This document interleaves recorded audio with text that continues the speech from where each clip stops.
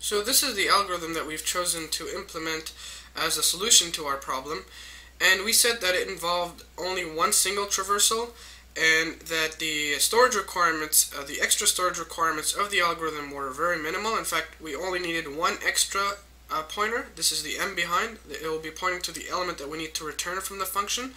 And um, it runs in linear time. So big O of n.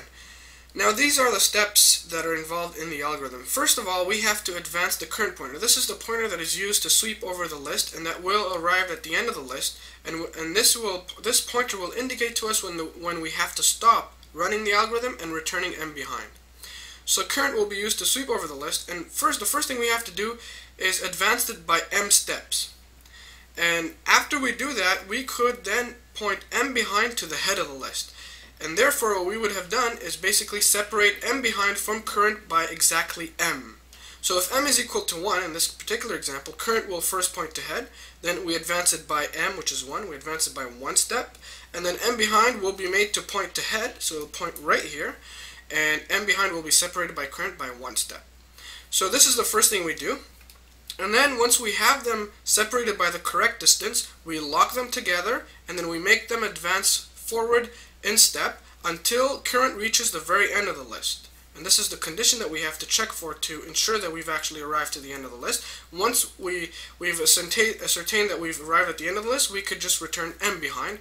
And m behind will be the correct element that we have to return, which is mth to last element. Um, so let's put that in code right here. Now we know we have to return a pointer to a node.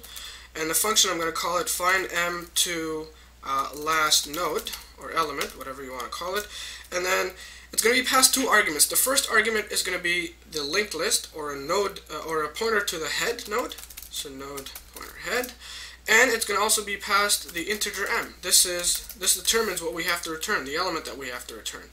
Um, the first thing you want to do is initialize the pointers that you're going to be using. So we have two pointers. We have the current, make it point to head, because we're going to be using current to sweep over the entire list. So it starts ahead and it sweeps through the entire list. And the next pointer that we need is m behind. This is the one I added for my algorithm. And this will make it point to null.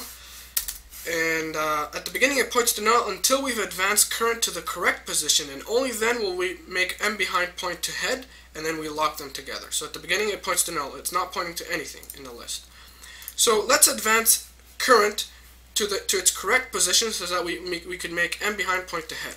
So we're going to use a for loop for that. And uh, so make sure we advance by m steps. This condition actually ensures that. And increment i every step. And um, you also want to make sure that your list is long enough. If your list has less than m elements, you have to return null.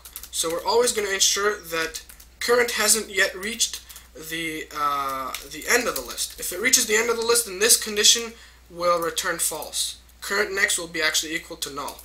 So always while we make sure that we're not at the end of the list, then we could increment current.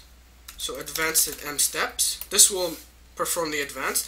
But if this fails, then we have to return null, or return m behind, which is set to null. So the user will realize that the list was too short. So this is the first thing that we do.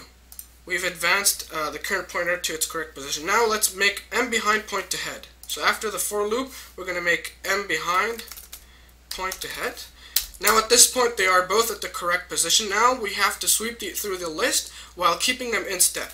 So while current next, so while we make sure that we haven't reached the end, this while loop is basically the, the sweep at the end. So we both we, we uh, move them both together until current next is equal to null. So this condition is basically verified by this. Once we reach the end of the list, this will be equal to null and it will exit that. And then just make them advance together. So current will be current next, and uh, m behind will be m behind next. So this makes them advance in step until we reach the end of the list, then return m behind.